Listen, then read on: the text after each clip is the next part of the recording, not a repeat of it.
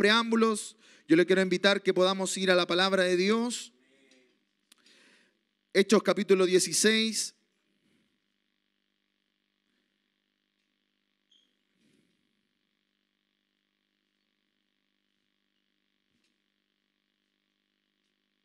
Hechos capítulo 16, del verso 25 y el verso 26 vamos a leer.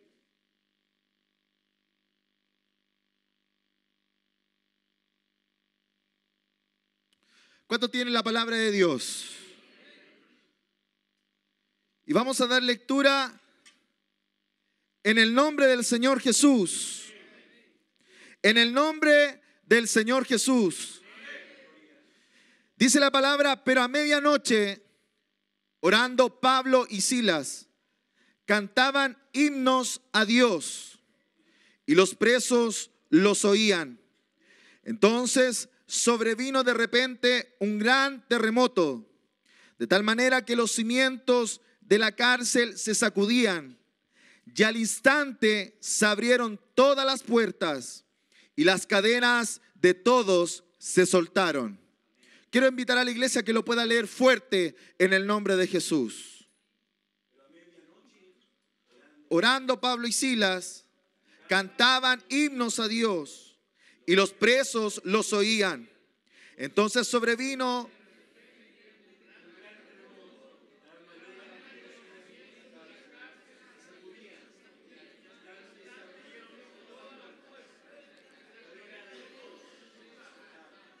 y las cadenas de todos se soltaron. Hermano Patricio, le quiero pedir que pueda orar por mi vida en el nombre del Señor Jesús.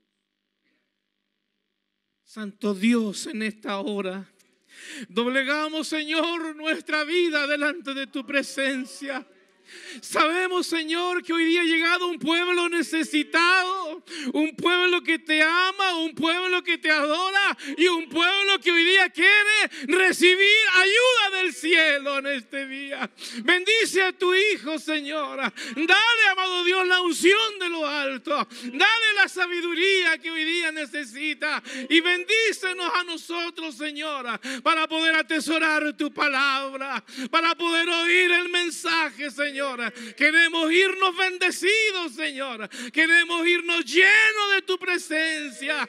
Queremos irnos llenos de la unción de lo alto, Señor. Queremos ser llenos del gozo, llenos de la presencia. Y que hoy día sean muchos libertados, muchos sanados. Ojalá hoy día tú puedas, Señor, también derramar de tu Espíritu Santo. Señor, gracias, Señor. Te lo pedimos en el nombre del. Señor Jesucristo. Amén y amén. Gracias, Señor. Denle un aplauso fuerte a Jesús. Gracias, Señor. Gracias. Tome su asiento por unos minutos.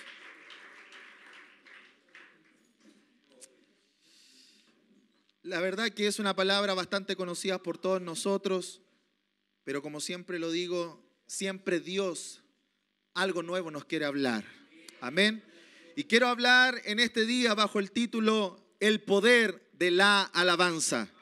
Diga usted, el poder de la alabanza. El poder de la alabanza. Alabanza, hermanos, proviene de una palabra en latín que significa valorar o apreciar. Por lo tanto, alabar a Dios, hermanos, es proclamar su mérito, o el valor que tiene nuestro Dios. En la Biblia hay muchos términos que expresan este concepto, entre los que se incluyen, por ejemplo, gloria, bendición, acción de gracia y aleluya. Y este último, el cual hemos eh, recitado, el cual se llama aleluya, es una transliteración del hebreo de la palabra alabar al Señor. Es decir, que cuando usted expresa aleluya, usted está alabando al Señor. Cada vez que usted está en este lugar y exalta al Señor con un aleluya, usted está adorando a su Dios. El propósito principal, hermanos, de la alabanza a Dios es enartecerlo a Él. expresando desde nuestro corazón la exaltación a nuestro Dios.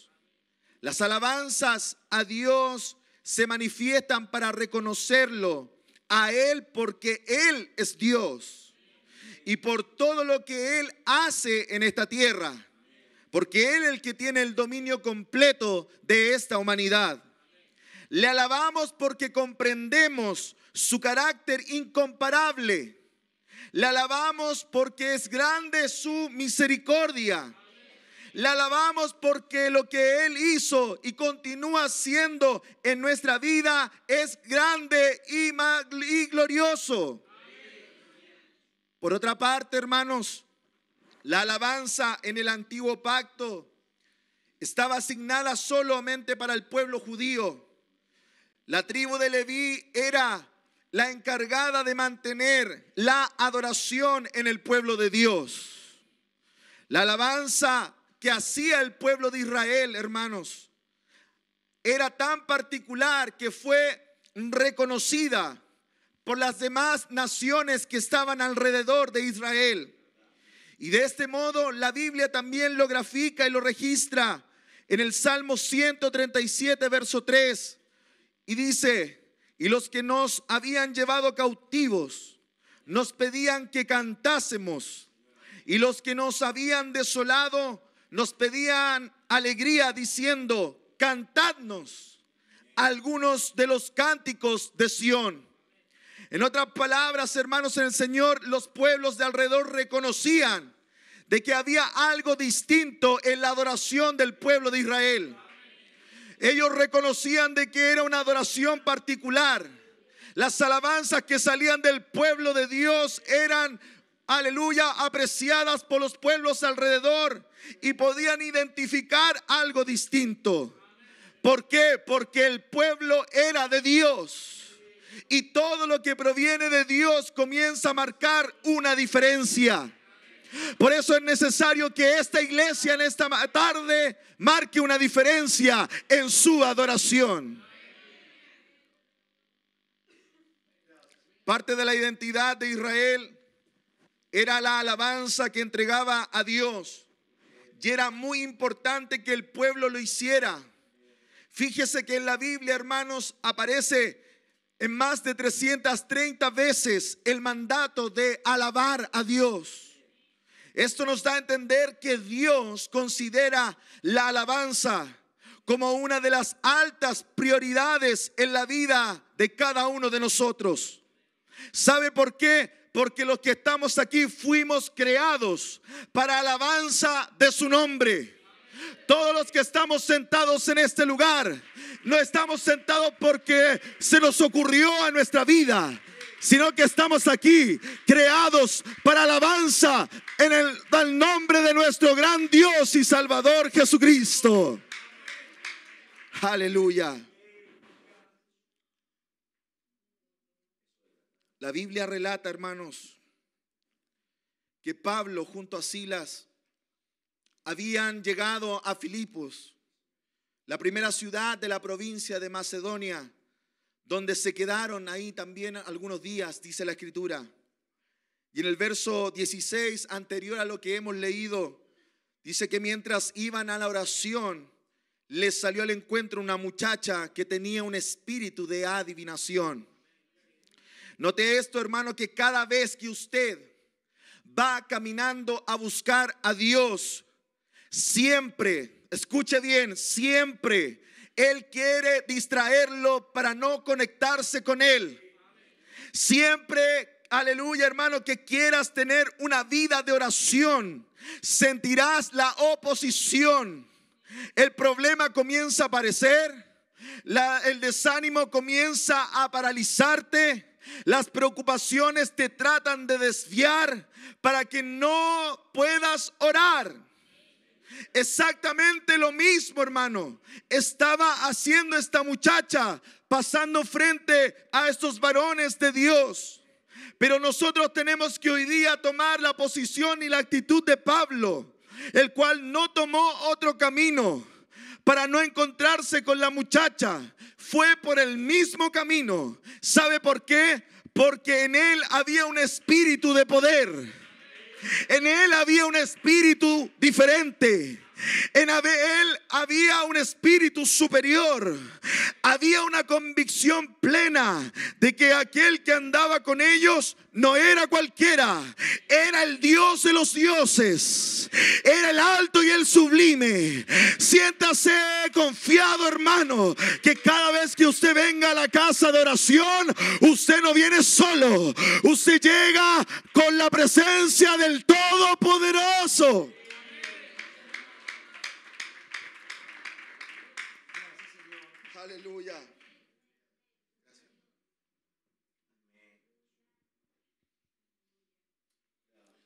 Aleluya.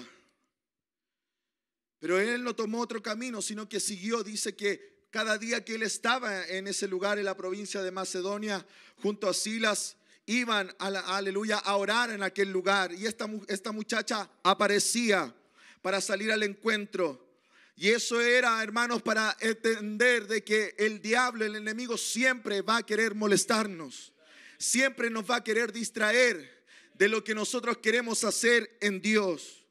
Y en esta ocasión yo también tengo un testimonio personal, hermanos, donde en una ocasión estábamos en el departamento junto a mi esposa, eran las tres y media, cuatro de la mañana, y mi esposa siente un sonido extraño, hermanos, en la puerta de nuestra casa. Y eran unos rasguños que estaban haciendo en la puerta, pero no eran unos simples rasguños, sino que también era, una, era como de un animal muy grande que se escuchaba allá afuera. No se escuchaba ningún otro sonido más que los rasguños que estaban haciendo en la puerta. Y luego de esos rasguños se empieza a escuchar como que querían entrar al departamento, golpeando la puerta como que con mucha fuerza. Y en ese momento me despierta y me dice, eh, siento un espíritu de hechicería. Y me levanto y voy a la puerta, hermanos, pongo mis dos manos en ese lugar y comienzo a reprender en el nombre de Jesús. Y sabe que cuando comienzo a reprender y, nombro el nombre de Jesús, comienza a maullar ese gato. Me imagino que, que, yo me imaginaba que era un gato y comienza a maullar muy fuerte hasta que cuando comenzamos a orar fuertemente y en ese momento aleluya, se cayó ese sonido, se cayó ese ambiente negativo que se estaba pronunciando en, ese, en esa madrugada y paró y comenzó a sentir una paz, hermano, en ese lugar. Y después yo abro la puerta y no había nadie afuera. No había absolutamente ninguna persona. ¿Y esto por qué lo cuento, hermanos? Porque en medio de cada oración, aleluya, y cuando menciona, aleluya, el nombre de Jesús, aleluya, siempre nosotros tenemos que tener en cuenta de que el poder no es nuestro no es la actitud que yo haya tomado, sino que el poder, aleluya, que pronuncia del Espíritu Santo de nuestro Dios. Porque a lo mejor, aleluya, ese, ese espíritu malo o de hechicería que había afuera quería entrar a mi hogar, pero nosotros como hijos de Dios tenemos un gran privilegio de que podemos pronunciar este nombre que es por sobre todo nombre, para echar fuera todo lo que se está oponiendo frente a nosotros. ¿Sabe por qué quiero decirle esto? Que aunque el diablo, escúcheme bien, aunque el diablo te quiera tocar la misma puerta, aunque te sientas presionado por el mismo desánimo, recuerda que Dios ha puesto un espíritu de poder en ti. Y hay autoridad para que desatar toda obra demoníaca que quiera avecinarse delante de tu presencia. Por eso la palabra de Dios dice, aleluya, he aquí os doy potestad de hollar serpientes y escorpiones y sobre toda fuerza del enemigo y nada os dañará. Todo puede venir frente a tu vida, pero tú tienes algo glorioso que está manifestado a través del Espíritu Santo de nuestro Dios. Hay poder en el nombre de Jesús.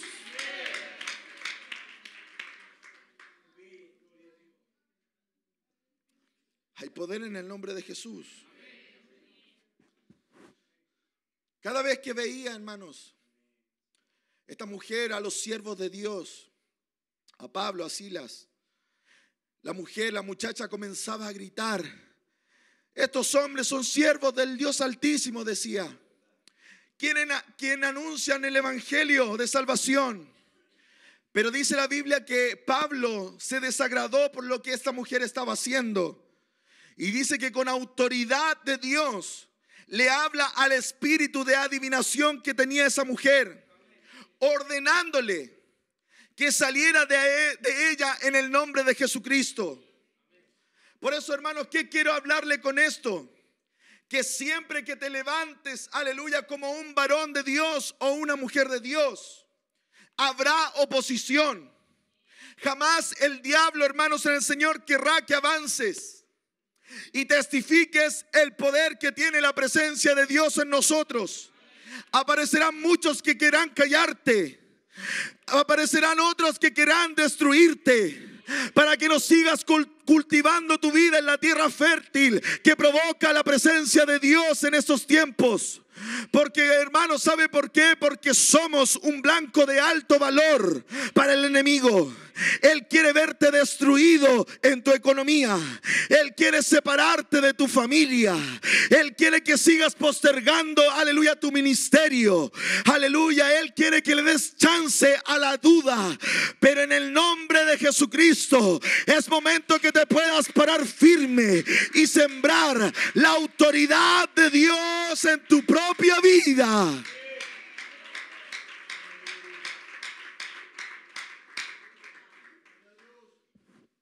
Aleluya. Porque el diablo, hermano, no se va a quedar quieto. El diablo anda como león rugiente buscando a quien devorar. Él no quiere destruirte, él quiere matarte. Aleluya, él quiere hurtar tus bendiciones.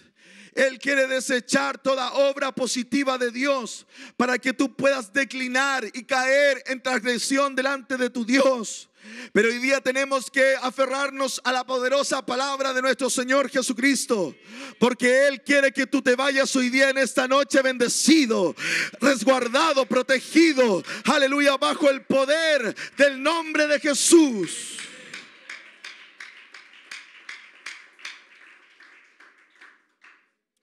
La Biblia dice que después de que Pablo sacó ese espíritu de adivinación de esta muchacha, dice que los amos que ganaban dinero por las adivinaciones de esta muchacha llevaron a Pablo y llevaron a Silas donde estaban las autoridades para poder acusarle. Y le dijeron que estos hombres eran los que estaban alborotando la ciudad. Y se los presentaron a las autoridades. Y eso, hermanos, ¿qué quiere decirnos a nosotros? Tal y cual es para nosotros diciéndonos el adversario que somos alborotadores. Personas que rompen la tranquilidad o la quietud de la zona donde ellos, nuestros enemigos que están gobernando, se sienten inquietos. El mundo es el lugar donde ellos se sienten empoderados. Pero ni siquiera el poder, aleluya, es obtenido por ellos. Porque Dios les dio el poder. Porque todo lo que está bajo su dominio sobre esta tierra, sobre esta humanidad, es dado por el Señor. Entonces ellos, hermanos, se sujetan a la voluntad de nuestro Señor Jesucristo. Aunque se crean más superiores que nosotros, hoy usted se tiene que ir, aleluya, bendecido con la autoridad proveniente del Espíritu Santo de nuestro Dios. Porque hay poder en el nombre de Jesucristo. Hay poder en la oración que usted hace cada día en este lugar. Hay poder en la alabanza que usted magnifica para Dios. Usted tiene que irse diferente de este lugar, sintiendo de que Dios es con usted. Pero por si fuera poco, la Biblia lo relata, hermanos, que se amontonaban la gente para rasgar los vestidos de estos hombres. Aleluya. Y ordenaron que lo azotasen con varas. Nunca, hermano, nuestro enemigo no se quedará conforme, hermanos, aleluya, con levantar solamente falso testimonio. Porque eso también está haciendo, hermano, aleluya, con los varones de Dios. Sino que también comenzará a golpearte directamente para hacerte daño pero no un daño físico, sino que un daño espiritual. Vas a comenzar a sentir, aleluya, Él quiere que tú sientas una frialdad. Él quiere que tú sientas un alejamiento de la presencia de Dios. Porque eso es lo que quiere hacer nuestro adversario. Detener la voluntad, aleluya, de Dios. Pero entendemos que eso no se puede. Porque Dios es el que domina nuestra vida.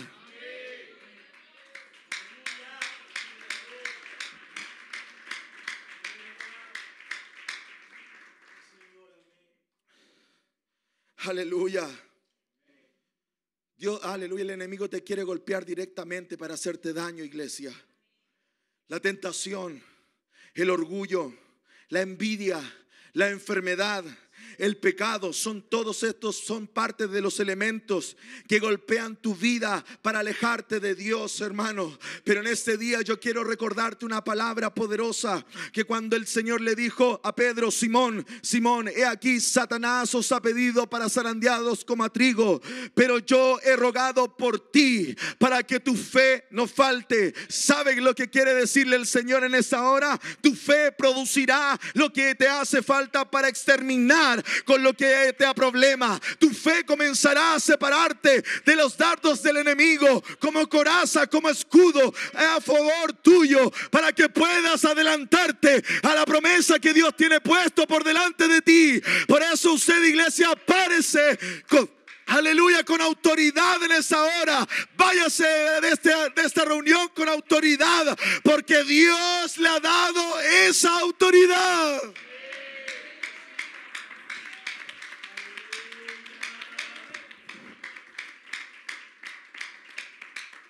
Pero eso no queda ahí.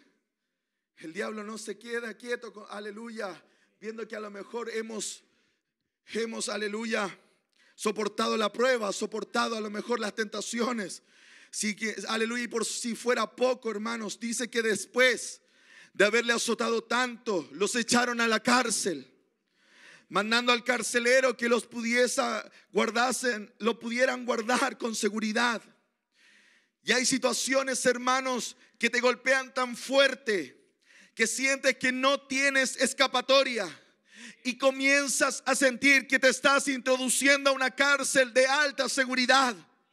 El plan de Satanás, hermano, era que Pablo y Silas dejaran de predicar y los silenciase para que nadie más escuchara la palabra de Dios. Eso es lo que Dios, aleluya, es lo que el enemigo quiere hacer contigo en estos días. Él quiere que tú silencies la palabra más gloriosa que nosotros hemos alcanzado. Él quiere que tú te quedes en tu casa sin pronunciar absolutamente nada de parte de Dios. Él quiere que los profetas, aleluya, sean exterminados en este tiempo. Aquellos que se paran en este lugar para proclamar el nombre de Jesús. Pero en esta hora tenemos que levantarnos como un ejército en orden para reconocer que hay poder en la alabanza, hay poder en la oración hay poder en la búsqueda de la palabra de Dios. Aleluya.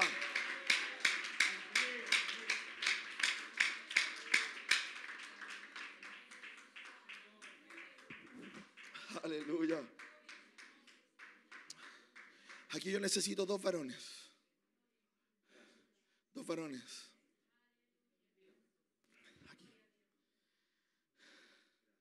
Vamos a, rehacer esa escena. Dice que le metieron a la cárcel de más adentro. Imagínese, hermano, por un minuto que ese lugar era muy oscuro. Era un lugar donde a lo mejor era muy helado. Estaba sucio. Donde caían los criminales más buscados de esa zona. Ahí estaba Pablo y Silas. Fueron tratados como homicidas fueron tratados como malhechores. Y dice la palabra que le pusieron los pies en el cepo. ¿Qué quiere decirle el cepo, hermanos? Era un elemento que usaban para poder ponerlo a aquellos que estaban encarcelados y pudieran ellos estabilizarse y no poder moverse, hermanos, en el Señor para que no pudiesen escapar. Y ellos estaban con el cepo, pero estaban en una posición muy desfavorable. Yo le quiero pedir que se pongan ahí sentados, con los pies así. Y estaban con los cepos, hermanos. Imagínense que aquí está Pablo y aquí está Silas. Y ellos no podían moverse. Estaban heridos porque habían sido azotados. Tenían rasgados sus vestidos. Estaban a oscuras porque ese lugar era la cárcel de más adentro, imagínense. Donde ellos no podían movilizar absolutamente nada. El cepo también en el antiguo tiempo se podía poner también en las manos, pero ellos los tenían en los pies. ¿Sabe por qué? Porque ellos no querían inmovilizarlo para que no pudieran escapar. Pero espiritualmente le estaban diciendo es que yo no quiero que ellos salgan a predicar la palabra de Dios. Es que el enemigo es lo que quiere, hermanos, es poner ese cepo en tu vida para que tú dejes, aleluya, que la palabra de Dios solamente tenga una limitancia y no lleves el fruto de salvación en aquel que está a tu lado. Por eso Pablo y Silas estaban, aleluya, encarcelados por predicar la palabra de Dios. Ellos estaban en una posición muy desfavorable aleluya, para que no pudiesen escapar. Estaban heridos. Me imagino con esa espalda rasgada por los golpes, debilitados físicamente, sin tener movilidad.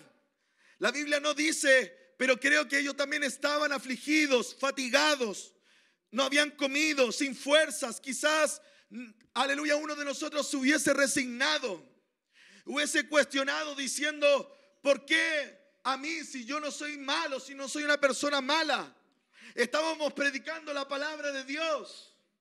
Y en ese momento, hermanos, en el Señor, yo me imagino que Pablo y Silas comenzaron a hablar y le comenzaron a decir, ¿sabes qué, Silas? Yo sé que estamos golpeados. Yo sé que estamos atribulados, estamos en la cárcel de más adentro. Me, aleluya, me hieren. Me duelen las heridas. Pero siento en esta hora de orar. Siento en esta hora de poder pronunciar una oración delante de Dios. Y sabe lo que comienza a hacer y la, la, escritura lo comienza a relatar. Que Pablo y Silas comienzan a orar. Comienzan a pronunciar una oración, aleluya, tan grande, tan poderosa que después a lo mejor de unos minutos o de unas horas que estaban orando, se sintieron, aleluya, vigorosos espiritualmente. Y dice la palabra que no solamente oraron, sino que comenzaron a alabar. Comenzaron a alabar. Porque no era suficiente la oración, sino que dijeron, no, yo no me voy a quedar aquí, aleluya, silenciado porque el enemigo quería, aleluya, acabar con nosotros. Yo voy a seguir alabando a Dios. Sila, yo no sé si tú quieres acompañarme, pero yo quiero alabar a Dios. Yo no sé si tú, aleluya, quieres acompañarme en esta situación. Yo me siento herido, me siento atribulado, me siento avergonzado, me siento separado, aleluya, de lo más, aleluya, nefasto de este mundo. Pero yo no me voy a quedar callado. Voy a seguir alabando. Oh, aleluya. Pero eso no queda ahí. Eso no queda ahí, dice la Biblia. Aleluya, que a la medianoche estaban orando. No que comenzaron a orar a la medianoche, dice que a la medianoche estaba orando Pablo y Silas. En la oración y la alabanza comenzó mucho antes que llegara la medianoche. Pero ese lugar estaba tan, aleluya, tan glorioso de la presencia de Dios ese lugar estaba tan lleno de una atmósfera celestial que ellos no pudieron cesar su alabanza. Ellos comenzaron a alabar a Dios con toda su fuerza. Ellos comenzaron a alabar a Dios con todo su corazón. Aleluya, diciéndole al Señor que aunque estén en la cárcel, nadie puede silenciarme. Todos pueden estar hablando, todos pueden estar quejándose en esta cárcel, pero yo no me voy a estar quejando. Yo me voy a pronunciar con alabanza a Dios.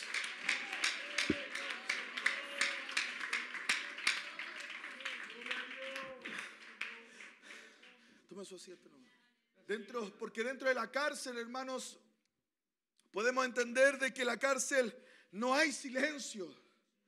Todos están hablando, todos están gritando, todos están quejando, todos están peleando.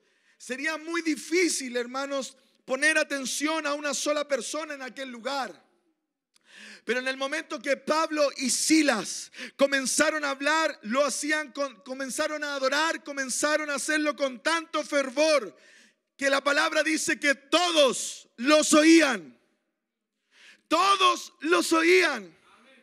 Porque aunque el enemigo te quiera silenciar, hermanos, aleluya, alza tu voz en esta noche a los cielos y comienza a alabar a Dios de la manera que tú crees que es posible hacerlo.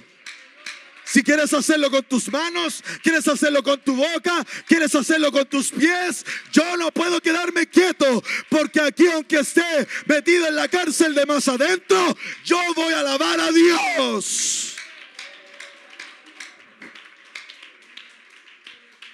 Tu alabanza, hermano, tiene que estar de continuo en tu boca. No hay día específico para bendecir al Señor con un cántico. No solamente los martes, no solamente los jueves, no solamente en los cuatro servicios que tenemos el día domingo, todos los días yo tengo que bendecir al Señor. Por eso su palabra dice, bendeciré al Señor en todo tiempo, en todo tiempo. Su alabanza estará de continuo en mi boca. No me puedo quedar callado porque hay poder cuando yo pronuncio una alabanza de Dios. Aleluya. Este es tu momento para alabar a Dios, hermano. Realiza un sacrificio de alabanza. Oh, aleluya. Eso es, sigue alabándole. ¿Sabe por qué? Porque al diablo le irrita que alabes a Dios. Al diablo le irrita que tú pronuncias alabanzas a Jesús. Oh. Oh, hay poder en la alabanza. Desata las cadenas de alabanza. Oh.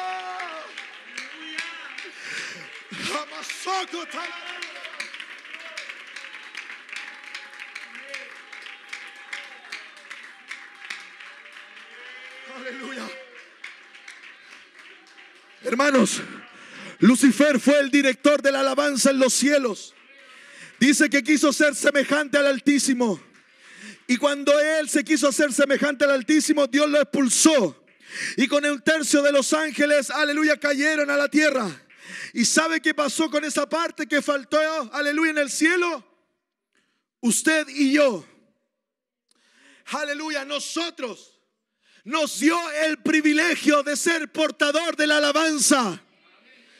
Es un privilegio alabar a Dios aquí en la casa del Señor. Siéntase privilegiado que usted tiene palmas para alabar a Dios.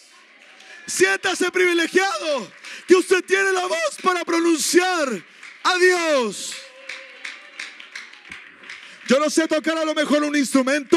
Yo no tengo una voz a lo mejor muy bonita para poder cantar. Pero yo tengo algo que viene del interior. Y es el alabanza que proviene del Espíritu. El poder de la alabanza es aquí en esa noche.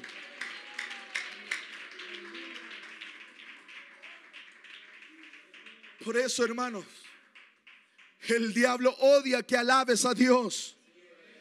Él odia que, aleluya, alabes a Dios porque ese privilegio se le quitó cuando fue desechado del mismo cielo. Cada vez que usted y yo alabamos a Dios, los demonios comienzan a huir. Por eso no es cualquier cosa cuando entonamos una alabanza, hermano Juan. Aleluya, por más pequeña que sea, por más simple que sea la alabanza, hay poder en ella. Hay poder en esa alabanza. Hay poder en el cántico. Aleluya, los demonios salen de ese lugar. Cuando los coristas llegan aquí, aleluya, el grupo de alabanza, esas puertas espiritualmente se abren porque son desechados los demonios en este lugar. Porque hay alabanza, hay poder en el nombre de Jesús. Oh, aleluya. Recuerde lo que pasó con Saúl. tenía un espíritu malo. Aleluya. Que lo atormentaba. Yo no sé si se puede sacar esto. Aleluya. Y dice la palabra que David tocaba el arpa. Y los espíritus eran expulsados. Y ahí Saúl comenzó a quedarse quieto en paz. ¿Sabe por qué? Porque el poder de la alabanza hace que usted tenga paz en su corazón. El poder de la alabanza hace que usted pueda renovar sus fuerzas a una vez más en esta tarde. A lo mejor usted tuvo un día muy malo en su trabajo, tuvo complicaciones con su trabajo, a lo mejor lo echaron de su trabajo, pero hoy día usted tiene que levantar sus manos y entonar una alabanza. Porque el desánimo tiene que ser expulsado. Aleluya. Las complicaciones tienen que ser expulsadas. Las disgustaciones, la envidia, todo lo que proviene del corazón por negativamente tiene que ser expulsado. Porque hay poder en la alabanza a nuestro Dios. ¿Sabe por qué? Porque la alabanza trae liberación a nuestras vidas. La alabanza transforma el ambiente. La alabanza cambia la atmósfera de este lugar. A lo mejor puede haber entrado por ese lugar atribulado, triste, porque no sabes cómo pagar tu renta, porque no sabes cómo, aleluya, llevar el alimento a tu casa porque falta el trabajo. Aleluya. No sabes, aleluya, cómo lidiar con tantos problemas en tu familia. Pero este es el lugar donde Dios cambia la atmósfera. Esa cárcel, hermano, le faltaba algo. Que se soltase un poquito esa cárcel donde estaba Pablo y Silas. Estaba muy apagada esa cárcel. Había muchos amargados en ese lugar. Tuvieron que llegar pentecostales. Oh, tuvieron que llegar apostólicos a esa cárcel para que pudieran sentir oh, una atmósfera diferente. Hoy, hermano, usted tiene que reconocer de que no somos, aleluya, cualquier iglesia. Somos la iglesia del nombre de Jesús. Somos la iglesia del nombre de Jesús. Hay algo que nos caracteriza como la iglesia pentecostal apostólica del nombre de Jesús. No son los trajes, no son los vestidos de las hermanas, es la alabanza. Es alabanza que la hacemos con libertad. Es alabanza que la hacemos con tanto regocijo esa alabanza que nosotros pronunciamos delante de nuestro Dios con tanta firmeza, hermano, porque Él nos ha dado ese poder para desatar toda obra del enemigo. Por eso en usted está el poder ahora. Y la Biblia dice que el que esté alegre, cante alabanza. Mas yo con mi voz de alabanza te ofreceré sacrificio. No puedes entrar por esas puertas de la iglesia con cara de amargado y sin nada para ofrecer a Dios. ¿Sabes lo que tienes que hacer, iglesia? Entrar por sus puertas con acción de gracia, por sus atrios, con alabanza alabarle, para bendecir su nombre. ¿Sabe por qué? Porque hay poder en la alabanza. Y quiero invitar que puedan pasar los músicos.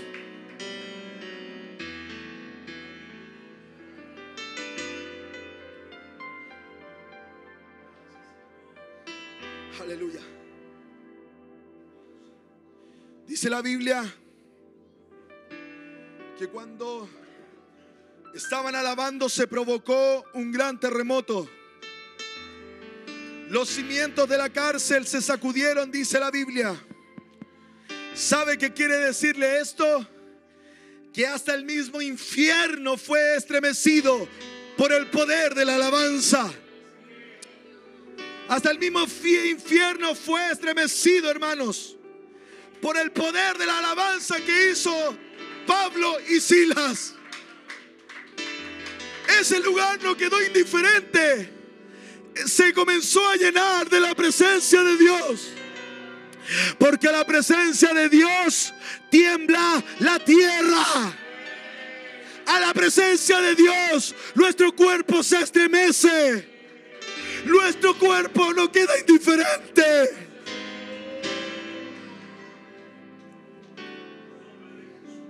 Mientras más te convenzas, iglesia, que Dios te ha capacitado, hermano, aleluya, con gran poder y gloria, te olvidarás de lo afligido que te hace sentir las circunstancias, las dificultades que estás pasando hoy. Mientras más te aferres al poder de tu alabanza, entenderás que siendo día bueno o día malo, lo alabaré igual.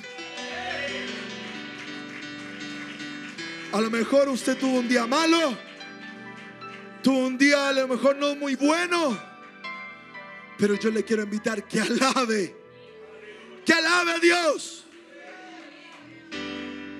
Tu alabanza tiene poder. Hasta el punto que puedes, hermano, animar al que está a tu lado. Y esto se cumple en la palabra que hemos leído. Pablo y Silas comenzaron a cantar ellos fueron liberados, pero no solamente ellos. Dice que aleluya, las puertas de las cárceles fueron abiertas. Aleluya, y las cadenas de todos se soltaron. Te pregunto hoy, ¿has llegado cautivo por tus pensamientos? ¿Has llegado a lo mejor con grandes dolores de angustia, de dificultades? ¿O ganas de terminar con tu propia vida? Alaba a Dios. Alaba a Dios. Has llegado prisionero de tus pecados. Alaba a Dios. No tienes cómo pagar tu renta. Alaba. Alaba a Dios. Aleluya.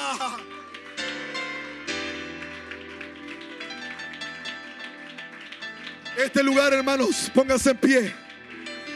Este lugar está creado, hermanos, para que puedas adorar el Espíritu y en verdad. No hay manera que te puedas quedar indiferente. No hemos venido a ser espectadores de lo que Dios está provocando alrededor nuestro. Yo no solamente quiero ser liberado, ser aquellos que le soltaron las cadenas, yo quiero ser de aquellos que provocaron que la alabanza cayera en ese lugar. Que la alabanza cayera en ese lugar.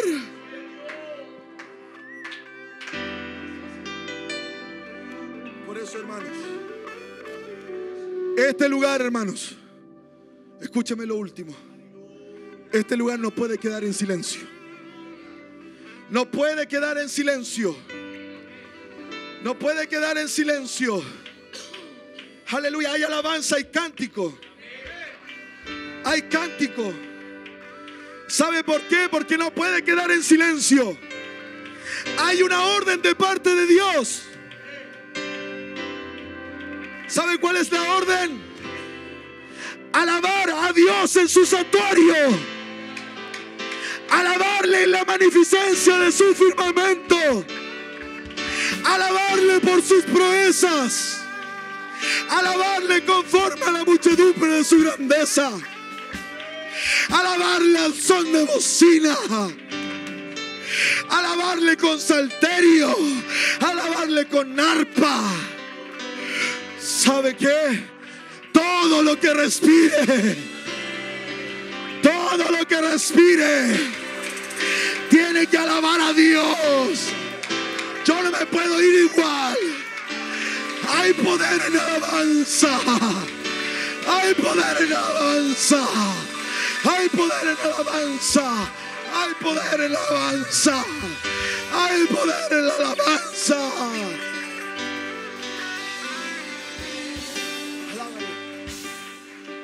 Alábale.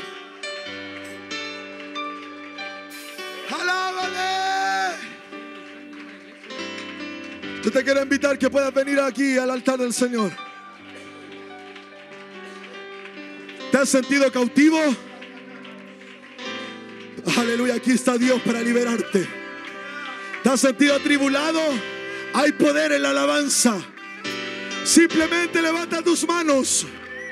Alza tu voz para que comience a caer la presencia de Dios en tu vida. Es que he venido y este es el tercer culto y no he, no he podido sentir nada. Ya llevo tres semanas sin poder sentir nada de Dios.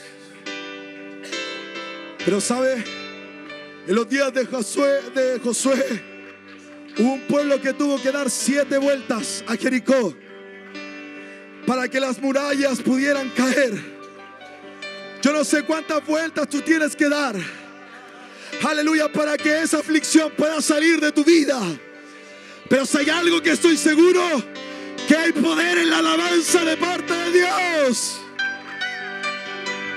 Alábale. Hay poder en la alabanza.